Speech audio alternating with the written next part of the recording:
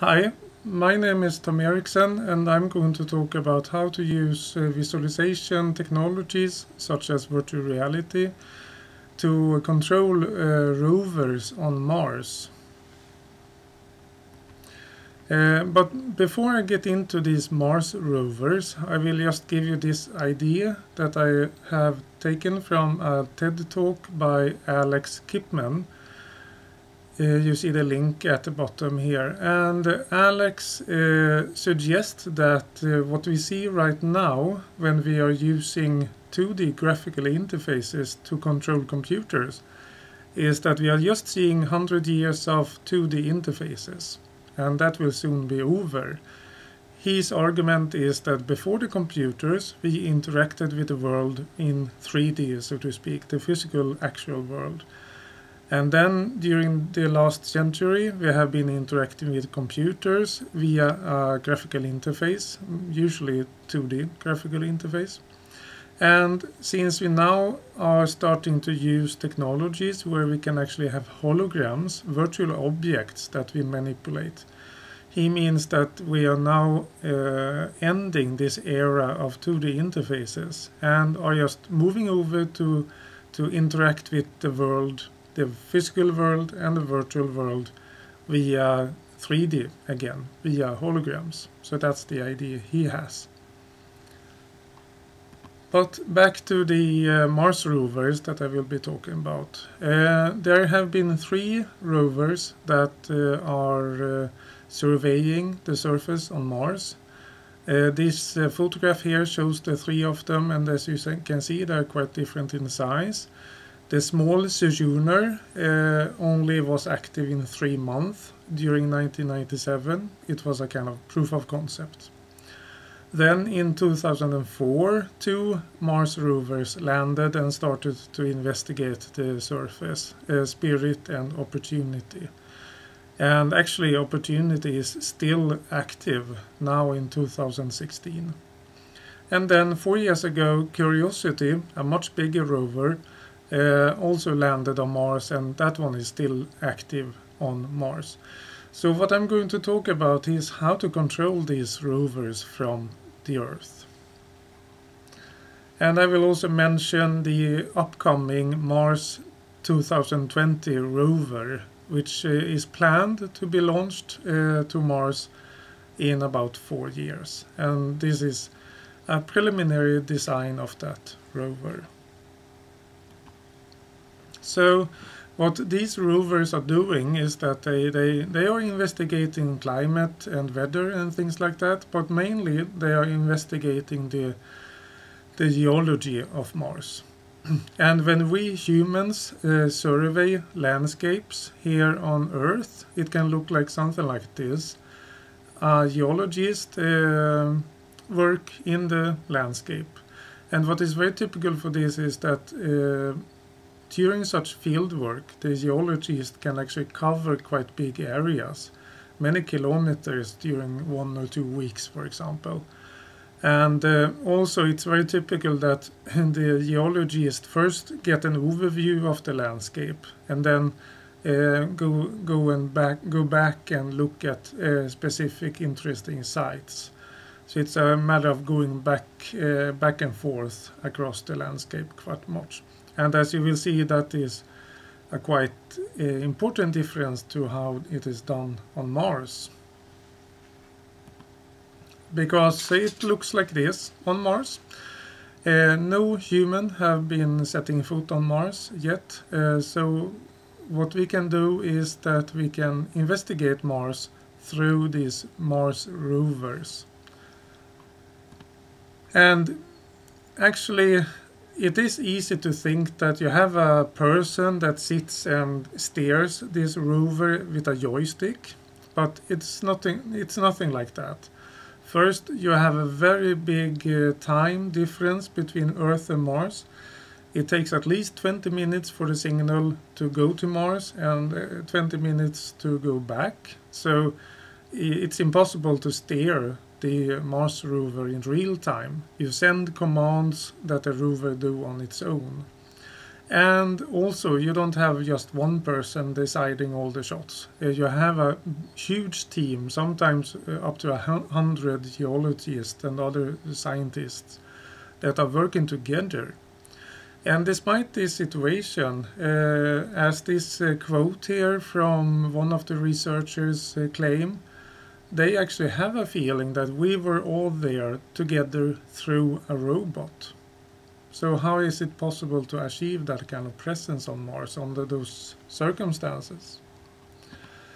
I'm going to talk about something called telerobotics and as this uh, a little bit horrifying picture shows, uh, you have a human, such as a sur surgeon, that controls a mechanical device and the human is at a great distance and control this device via signals over radio uh, or uh, so. But uh, it's not only a matter of the human controlling the mechanical device. The human also needs to get some feedback and also needs to have a feeling of being present in the situation.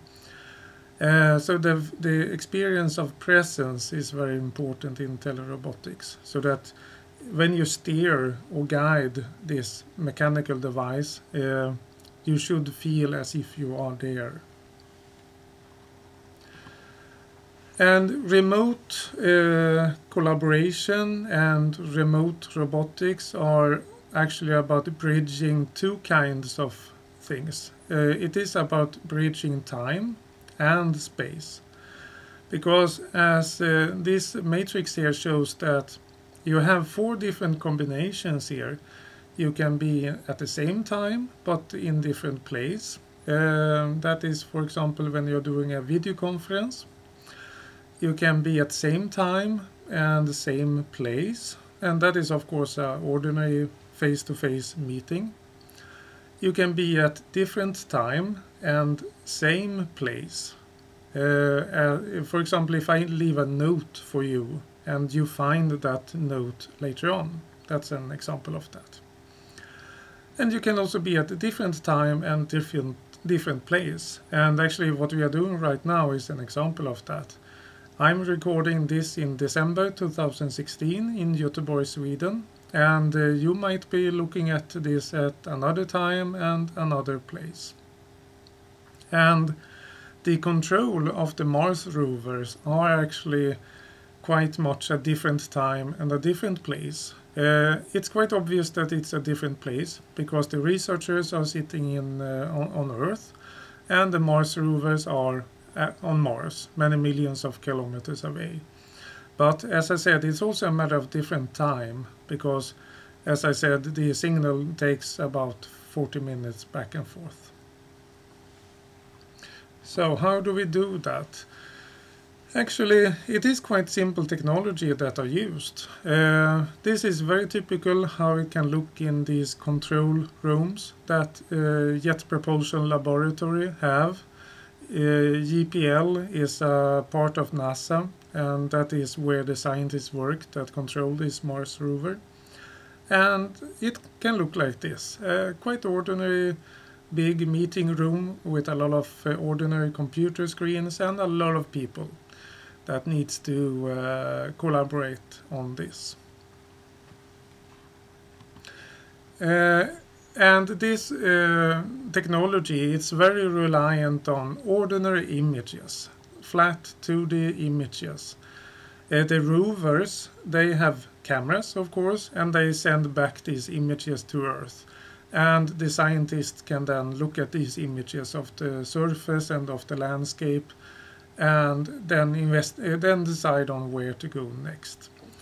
Uh, as you see in this image, sometimes they use uh, stereoscopic 3D in order to see the depth in the images, but that is actually not that very common. So actually the the uh, the scientists are actually just uh, talking and looking at images until they have agreed on where to go next. That's the simple answer to it. And then when the rover is supposed to be uh, executing the demands, that can be done in two different ways. Uh, either uh, the uh, engineers are sending detailed commands to the rover, so it can be uh, go three meters uh, straight ahead, turn 70 degrees, then back 20 centimeters or, or whatever. The other alternative is that the engineers give a command to the rover that uh, that that position over there, like a rock or a stone or something like that, go there. And then actually the rover have a kind of artificial intelligence on board that can use artificial vision to actually find a good path uh, to move over to that part where the engineers and scientists wants it to move. And they actually use both of the ways because sometimes uh, sometimes they might not trust the artificial intelligence really and they want to steer it more precisely themselves, the engineers I mean. So what about this um, this feeling of presence on Mars? How how can it be that a, a huge uh, committee of researchers actually can have a feeling of being on Mars?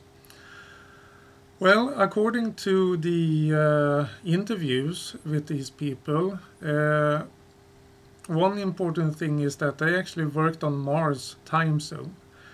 Uh, the the uh, day on Mars is uh, quite similar to the day on, on Earth, but not exactly. It's a few minutes off which means that if you live on Mars time, after a few weeks you will be completely out of sync and while it is uh, night on Mars, it is day on Earth.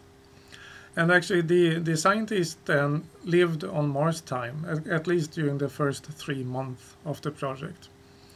And they actually um, put covers uh, over their windows in order to not confuse their sense of time. So they actually felt that they were living on, on uh, Mars time. And what is a little bit interesting with that is that a very popular book right now about uh, virtual reality is uh, a science fiction novel called Ready Player One. And the protagonist of that story actually covers his windows as well, which I find a little bit uh, interesting.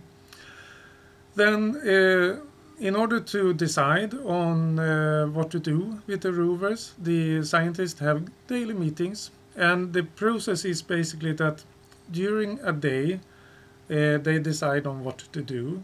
Then at the end of the day, the control commands are sent to the rover, and then the rover do these uh, execute these commands during the the start of the next day, and then you start over with this. So the kind of back and forth uh, iteration of deciding, executing is about 24 hours. So the scientists go through images, they discuss potential targets, they choose targets, choose instruments, and then decide on how to steer the rover to that position. Then the commands are loaded up to the rover and then the result uh, photographs and measurements are downloaded to Earth again. Uh, finally, the third thing here to provide this sense of presence is agency. Because uh, the scientists say themselves that since they are able to actually move through the landscape with the rover, uh, and they can also actually do things in the landscape, then they can use the robot arm of the rover to turn over a rock or something like that. And since they have this agency, they can actually do stuff in the Martian landscape. They get a feeling of actually being there, even if it takes 24 hours to, to do it. So what, what are the drawbacks of this? Well, one drawback is time. It takes very long time. Uh, and there is no turning back either. Uh, and as I mentioned at the start of this presentation, when a, uh, when a geologist survey a landscape on Earth, they very often go back to a site to investigate further. And that is not possible. Yeah, well, it is possible with a rover, but the time is so precious and it takes a long time to move the rover uh, very typically the rover actually moves about one or two meters per day. So it's it is very very slow. And also the rover can actually break down any minute. And when it eventually breaks down or gets stuck, then there is no one to help it. So they always have this pressure to use the time as much as possible and the rover is extremely slow and it can break down any time. And because of that, there is basically no turning back. And so, so all the time they need to decide should we stay here or not. And if they decide to go on, they know that they will never return to that particular stone or rock or whatever. And as I said, it moves very, very slowly over short distances also. For example, Opportunity have traveled 43 kilometers in all those years. Curiosity in four years have traveled 14 kilometers. So let's move over to potential use of uh, virtual reality or rather augment, uh, augmented reality in order to steer these uh, rovers. Um, there is a collaboration between NASA and Microsoft uh, because NASA are starting to use the HoloLens. And you see the HoloLens here in this photograph. The HoloLens is a wearable uh, hologram holographic computer as you see, you wear this on your hand like this and the user have a semi-transparent visor in front of her eyes. And through this uh, visor, the user see the actual world, but also see uh, superimposed on the actual world, she sees uh, graphical uh, um, uh, images, uh, computer rendered images. And that is what is called mixed reality. So uh, when you use this, you actually see virtual objects in the actual environment. And it's quite similar to holograms. Uh, at least the popular version of holograms. It is actually not real holograms, but it's uh, we can call it holograms to make it more simple. Uh, as I started uh, this presentation, uh, what we are used to today when we use computers is that we use it through this screen, this window, and it is usually in 2D. And when we now start to talk about virtual reality, mixed reality and augmented reality, it is as if we're not really looking through a window anymore. We are more immersed in the in the virtual environment. In virtual reality, we are actually totally immersed in the virtual reality. While in mixed reality, we are immersed in the actual physical reality and having the virtual objects present. And this uh, image here shows a quite typical experience of using HoloLens you have these virtual objects, in this case a, a 3D model of uh, the planet Jupiter. You have these objects in the room and also you control the the computer via gesture and voice. You see the pinching uh, movement that the user is doing here. But you can also see one thing that is not really talked that much about, especially not uh, in marketing uh, material here and that is that these holograms or these uh, displays they are actually a little bit semi-transparent. And you can see that where you actually can see the blue sofa uh, through the Jupiter model here. And that is because the these holograms they don't block the light from behind. They can only add the light so for example, uh, giving a very dark color, like a shadow, is uh, not really possible. And you can see that the shadow on this uh, Jupiter model appears to be quite dark, but actually I think that is a little bit fake in this image because uh, this is just a, a, a, simulation of how it appears uh, for the user.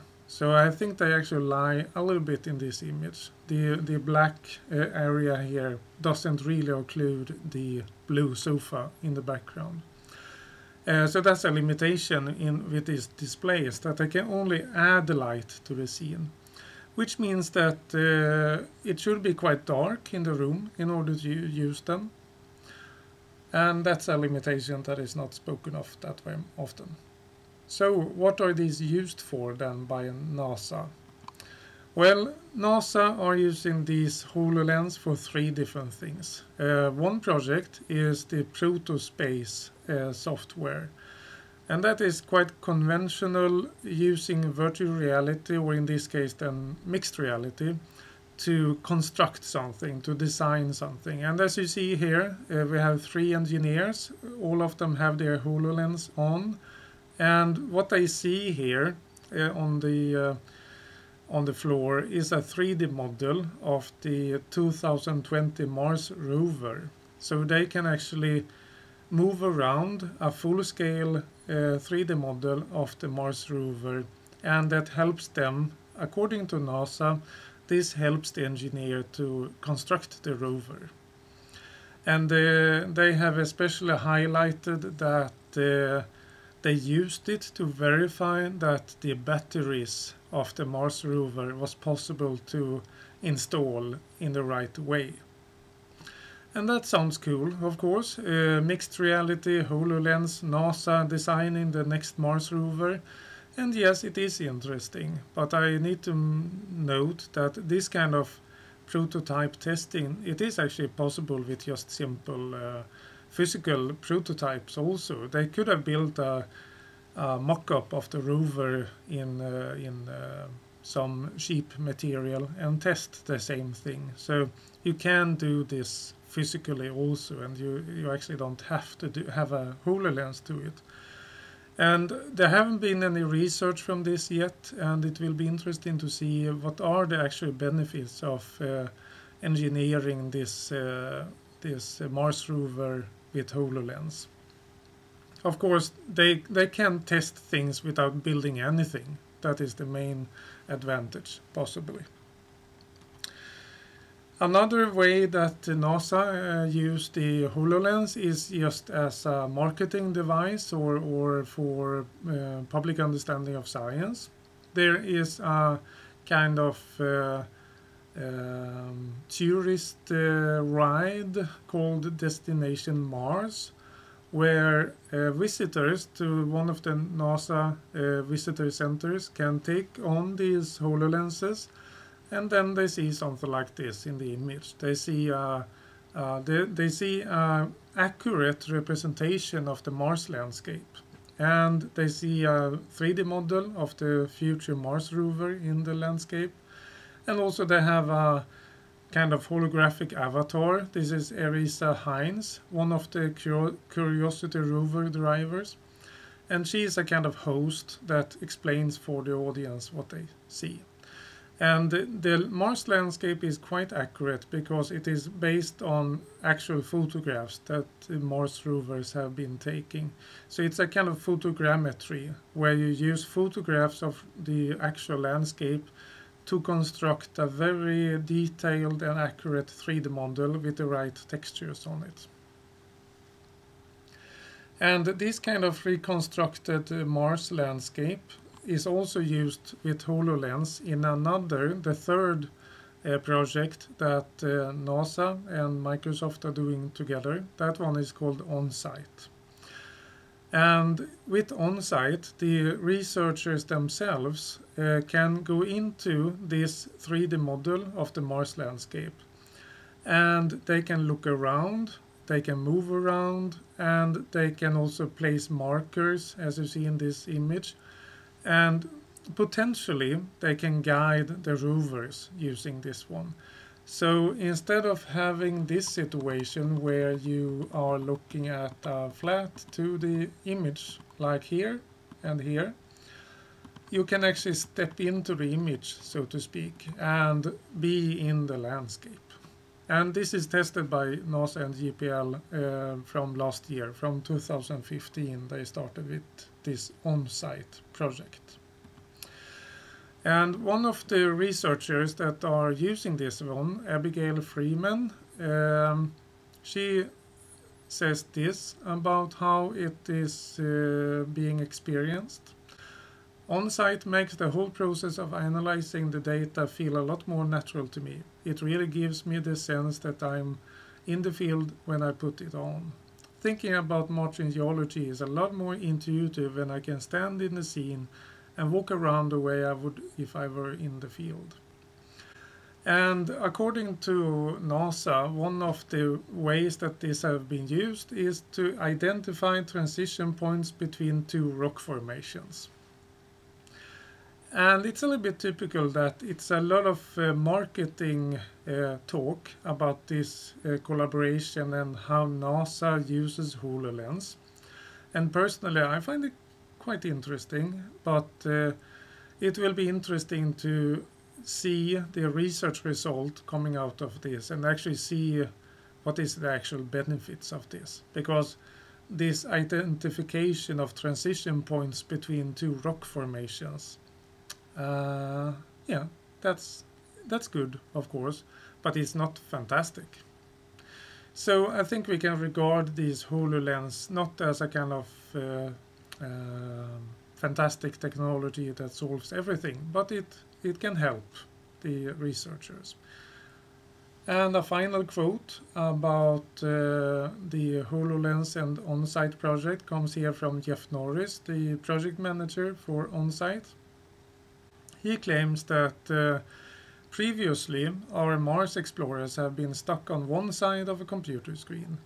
This tool gives them the ability to explore the rover's surroundings much as an Earth geologist would be would do fieldwork here on our planet.